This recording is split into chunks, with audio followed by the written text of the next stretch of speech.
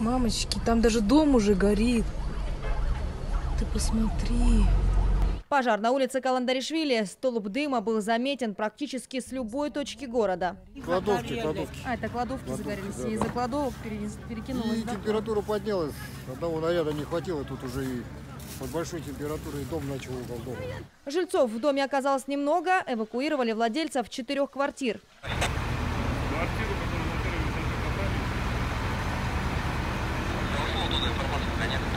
Как выяснилось, пламя полыхало не только из-за старых сухих строений. Один из сараев был полностью забит дровами. Ваш сарай сгорел? Подожгли, скорее всего, что думаете? Не знаю. А что у вас там было? А у меня дрова там. Почему все говорят о каких-то баллонах газовых? Отойдите, говорит. Ну, это значит, у тех там баллоны были. Много дров-то у вас там было? Ну, вот я машину, это, 4 кубовку взял.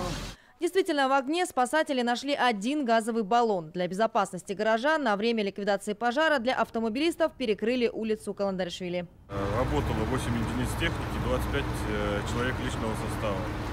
Э, Во сколько поступил сигнал? Сигнал поступил в 17.10, в 17.12 первый подразделение пожарной охраны уже прибыли к месту пожара.